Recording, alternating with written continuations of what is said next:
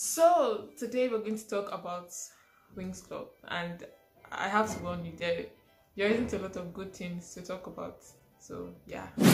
Hi and welcome to my channel Maisel. Today we are going to be reviewing the first season of Netflix's live adaptation of Winx Club. Yeah, I did a review before about the teasers and I didn't even know that they were going to drop the season. I just saw it uh, a few a few days ago, you know, they had dropped season and I was like, wow, they they really did this, didn't they? So yeah, you know, it, it took me a lot of strength, but I had to watch it. I couldn't finish it actually because while I was halfway there, my Netflix stopped working. Maybe the owner of Netflix, you know, decided to throw me out. so yeah, I just stopped there. But you know, I decided to this review either way. I actually wrote a list of things that things that I knew I had to talk about the live adaptation season one. Honestly, there isn't a lot of things that they did right, like at all. But there were so many things that annoyed me. First things first, there is nothing similar with the actual Winx Club that we all know and love. So, you know, if you're watching it because you want to see how Monty, you know, adapted the, the actual Winx Club that you know from childhood, then there there isn't it there at all. It's it's a slightly different show but only using the name Winx Club. I really think that Netflix decided to use the name Winx for clout. And you know, watching the teasers and watching the series, they had British accents, and I didn't exactly understand. Like that wasn't a problem for me though. But you know, while I was watching my sister, I understood that they needed a castle. You know, somewhere to film. They needed a castle, and there are a lot of castles in Europe. So that is why they have British accents because the cast were British because they filmed it somewhere in Europe. I'm just going to, you know, go through my list and talk about so many things that they did wrong. I really can't think of right writings, I'm sorry. One thing about the show though, like I said before, it's on its own. It's it looks like a typical Netflix series that you could watch. It looks like an okay show, but you just shouldn't have released it to Winx Club that's that's my cup of tea. Okay, so watching the first episode, the first season, there are so many things that I had to write down. The first one was apparently Alfea is in Solaria. That is where um, Stella is from. Originally, Alfea is supposed to be in Magix, but now it's in Solaria. And Alfea and Red Fountain are like the same school. There is a specialist hall and the fairies hall. It's like Netflix said we don't have a lot of budget, you know, to get another castle or something. So we're just going to put Red Fountain and Alfea as the same thing, and they call the whole place Alfea, And then there's a fairy hall and specialist hall.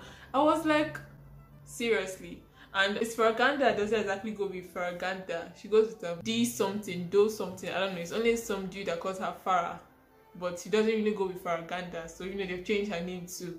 And the fairies and specialists are like mixed. You know how originally you know specialists were like you know guys and stuff like that, but now they've decided to mix it girls are specialists too, you know, fighting with swords. This is, this is the only thing they do all day because they never actually show these specialists doing anything like in class or anything. They are just always on the field fighting with swords.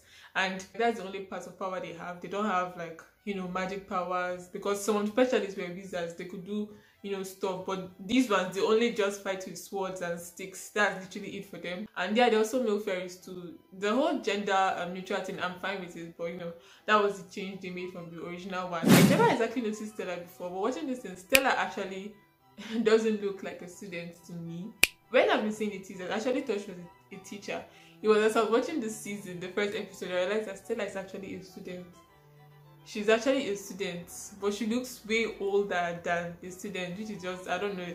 It just very weird to me. Sarah um, names flora. At the point in the show she um, names flora that her cousin is flora. So they're saying they didn't exactly get rid of flora but they threw her out of wings club and replaced her with terra one one main thing i saw in this series that got me really pissed off was the fact that it seems like everyone has an attitude literally like everybody is pissed off or has some attitude about this or that and everyone is just unnecessarily rude. Like people are not like that in real life. Literally everyone is just a ticking time bomb you know and the thing about the way people behave in this show is that you can't exactly tell you know how they will because today someone is rude tomorrow they're nice and then today the nice people are, are acting rude and just saying unnecessary rude things to someone that that was something that just got me very confused in the whole season because i didn't understand like what was going on at all. Like their emotions were just running rampant. I mean, they're supposed to be teenagers, but that was just doing too much. I really don't understand why Hollywood and Netflix's view of teenagers is always so extra. Like whenever they want to portray teenagers, you know, they're always showing them doing stuff like, you know, drinking, smoking, partying, having sex. Like that that's just too much. If you actually come to reality, teenagers don't, you know, they might do that, but they they overdo it in in Netflix and Hollywood shows. And I haven't, you know, been to Western schools. I mean, like you know, in America or Europe.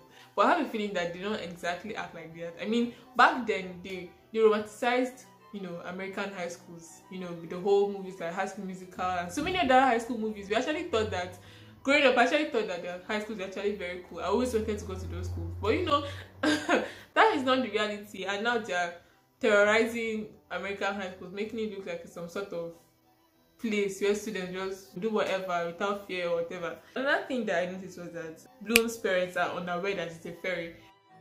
Alright, so I forgot to add that apparently Bloom's a changeling, which means that when her parents gave birth to her, because her mom actually did give birth to her, she was changed with her mom's actual child, which was actually dead. So her parents do not know that she's not their child, but she knows that she's not their child. So yeah, freak. The original beings, her parents are aware that she's a fairy. I mean, they actually even saw some things happen to them, you know. They are aware that she's a fairy and they actually follow her to school, but they couldn't, you know, pass the barrier because they are non-magical folk. But yeah, this one they are un- unaware she's a fairy. They think she's somewhere in Switzerland schooling and stuff like that, but she isn't. So she's lying to her parents. And Bloom has anger issues in this one also. The reason she actually came to Alfea, according to Netflix's adaptation, is the proprietor of Faragonda um, had told her that she could help her control her powers. That's why she came to Alfea. She has like anger issues, so every you know little thing she she bursts out in flames and kills someone. She literally burnt her house down and gave her mom third degree burns. I was like, seriously, she burnt her and gave her third degree burns. So like, okay, that that's just too dark and too too serious for Winx Club. But yeah, that's that's what she did. Apparently, the the fairies evolved and lost their powers to transform. That's why they did not have wings. I don't exactly know how that's is evolving if it's not like you know going down but yeah apparently that's why they don't have wings I haven't finished watching the series yet i probably would someday but i did see a clip on youtube spoiler alert that bloom got wings a, a transformation clip probably slowly one i'll get it because you know they have to a very a very low budget so yeah she she transformed and she got some kind of fiery wings I mean, they didn't exactly look very cool. Personally, they didn't look cool to me. They were just there. They were okay, you know. Bloom never exactly had fiery wings originally, so I didn't I wasn't expecting that and I did exactly like it. And while she was fighting, it just looked very whack. When while she had the wings and she was fighting in the clip I saw on YouTube, it looked like you know when there's a fire and you're like you're blowing it and breeze is blowing the fire, that's what it looks like. So yeah, the the CGI on that part was really lame for me. Anyways, going on. Something that I didn't really like was the fact that they created an enmity between Stella and Bloom. Now originally Stella and Bloom were literally best friends. They, they could literally die for each other. Stella was the reason that Bloom actually went to Alfea in the first place. But this one, they're creating such a an issue between Stella and Bloom, and now they made it like uh, Stella is with Sky, so she she tries to you know get rid of Bloom. She even once almost got Bloom killed because she didn't like how close she was to Sky. So that whole thing was that whole thing is just bad, you know, having Stella and Bloom fight um not be friends, you know, and the fact that they are liking the same guy was just really weird. Yeah, another thing to summarize the whole of this series, actually, to me, would be just imagine the low budget Avatar live action plus Shadow Hunters plus Sabrina. That is literally what this is. Method to to just push them into elemental. They literally said, you know, they're elementals right now, so they're like Avatar. They are they are benders at this point. Bloom is a fire bender, and you know the other one is a an earth bender and water bender and literally that that's what they are. And it gives me this um, shadow hunters vibe because of the whole uh, alfea and um, red fountain mix and you know the whole sword stuff. It looks very lame. There's hardly any magic going on so it really gives me shadow hunters vibe. Bloom at this point is just Clary Fairchild with her red hair it also gives me sabrina vibes because they can be very gory sometimes you know the way they are showing the monsters and everything. Back in the original wings they didn't exactly show like blood or guts or something. But here they don't care and you know they've been showing that everything is literally too dark. And i mean literally like you can hardly actually see the background behind the the cast and everything when they're talking because it's just so dark. I understand they went to europe to film this which means you know there's hardly going to be any sun but everything is just too dark and I don't like it. Wings was a very bright uh, show, but this one is just way too dark. Yeah, let's talk about boys. So they decided to skip Timmy and Brandon because originally there was you know only Timmy and Brandon. There was no Hillia and um, Nabu in the first season, but there was Timmy, Brandon, Sky, and Riven. But they decided to cut Timmy and Brandon, you know, probably because they were trying to cut their budget too. We were left with Riven and Sky. But the thing about Riven is that he's just too much. I mean, we knew that Riven was that bad boy, you know, but the only thing about him then was that he was very competitive, you know, with the other members, especially with Sky. And he had this little evil speck in him. But you know, when he really needed to help them, he did, and he helped them, you know, fight against monsters. He was a good guy. But here, Riven is literally just this, this typical bad boy dude that just smoking and literally smoking and drinking and you know just playing around.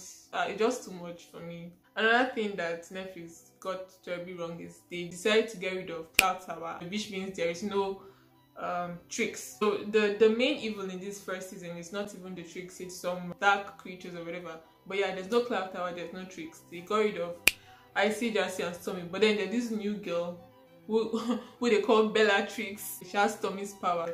I guess that was what they said to do. Out with the Trix and in with Bellatrix. And she actually goes to school with them.